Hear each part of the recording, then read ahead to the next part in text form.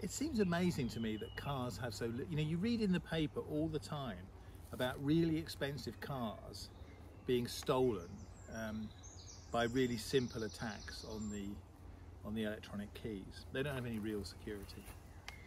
So I was really interested to see what's going on with the Digital Car Key Alliance with Apple and all of the others because what they're doing I think is technologically really interesting. They're linking Bluetooth with ultra wideband. Remember that there was a family of, of, of radio standards. There was Wi-Fi, Bluetooth, and there was ultra wideband, and people didn't really use ultra wideband because I, you know, Wi-Fi got cheap really quickly. And but ultra wideband is, is pulsed, and what that means is it can tell whether it's moving towards you or away from you, as well as how close you are to something. So what they're doing is you know, the key knows that you're walking towards the car, the key knows that you're in the car, and then they switch to Bluetooth to actually do the secure transaction. And that's a way lots of keys could work, not just car keys.